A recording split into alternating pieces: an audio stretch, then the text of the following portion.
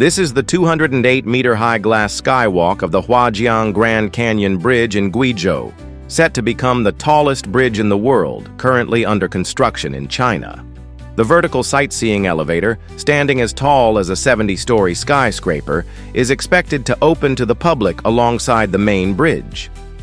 What makes it truly spectacular is its fully transparent glass design. Both the elevator and the skywalk offer a stunning 360-degree panoramic view of the breathtaking Huajiang Grand Canyon. As you ascend from the base of the bridge to the sky bar atop the tower, you're immersed in a perfect blend of awe-inspiring nature and cutting-edge engineering. But that's not all.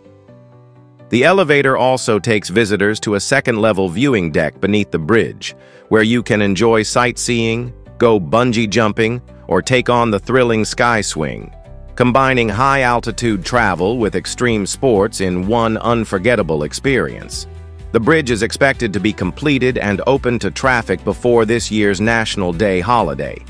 So, are you ready to witness the world's next tallest bridge and its jaw-dropping charm in person?